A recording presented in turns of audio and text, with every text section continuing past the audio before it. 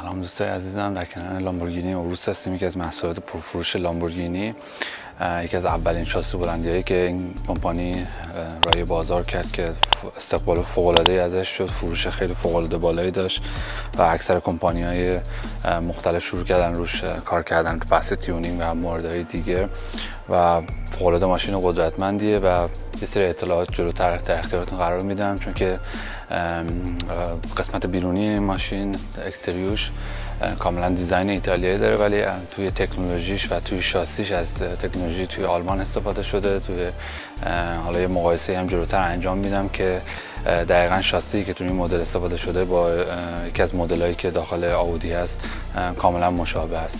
امیدوارم از این ویدیو خودشتون بیاد به کانال ATS کار خوش اومدید.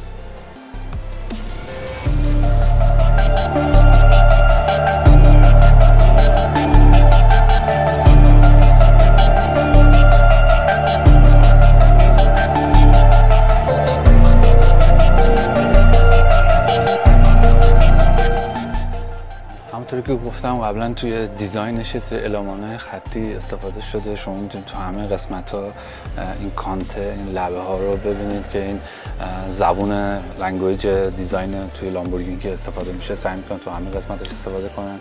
بعد یه سیستم Lüftung خیلی بزرگ داره اینجا که برای هوای بسیار زیاد نیازی که بره داخلش برای خوراک کردن سیستم سوختی و اینجا سری دریچه داره که برای تمیز کردن شیشه جلو از کالا عمل کردش رو بهتون نشون میدم جلوتر.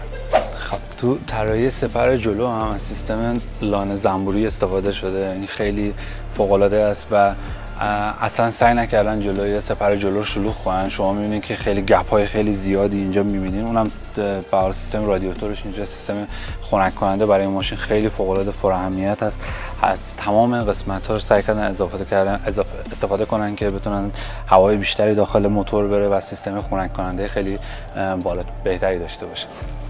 خب. یه نکته خیلی مهم و جالب بگم این کمرایی که جلوش داره خب استفاده خیلی زیادی ازش میشه. حالا اینجا هم هستش.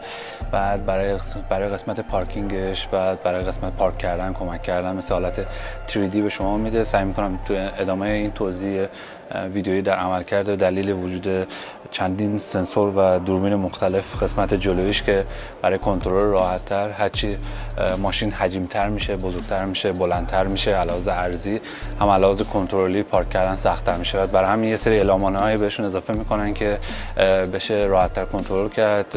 راننده خیلی کنترل راحتتری روی ماشین داشته باشه.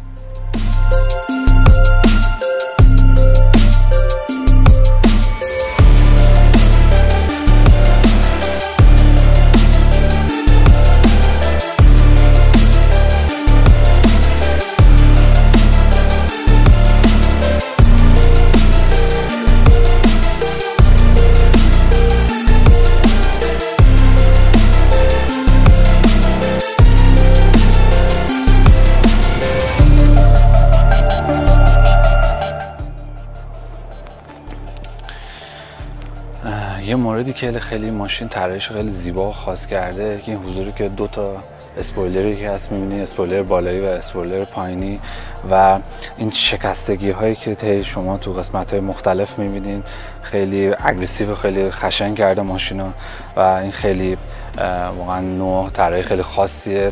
همون زبون طراحی ایتالیایی هست که خیلی خشک و خشن و ولی در ضمن خیلی فوق العاده زیباست. در مورد طراحی عقبش می‌تونم این نکته خیلی بگم که بر دو تا سیستم خروجی اگزاس تو طرفش اضافه شده و یکی از علمان های مهم زیباش توی طراحیش توی چراغاش هست که توی این حالت خطی استفاده شده و قسمت دیفیوزرش هم که فوق زیبا.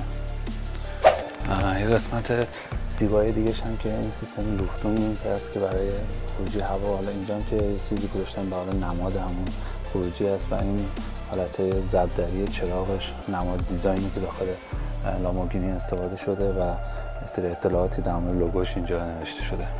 یه قسمت خیلی جذاب دیگه هم هست که رینگاش هست که طراحی فوق زیبایی داره و علاوه سایزی هم 23 اینچ هستش که خیلی اینو قطور کرده و علاوه برجسته و زیبایی و فوق العاده design زیبایی داره که بعید نیست از design ایتالیا چنین چیز فوق العاده خروجیش باشه.